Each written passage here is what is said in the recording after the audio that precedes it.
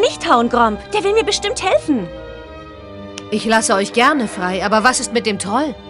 Gromp ist lieb. Der tut keinem was. Deswegen haben sie ihn ja auch hier reingesteckt. Wer seid ihr denn, damit ich mich recht bedanken kann? Halten wir keine langen Reden. Lauft schnell nach Hause. Wohl wahr. Komm, Gromp.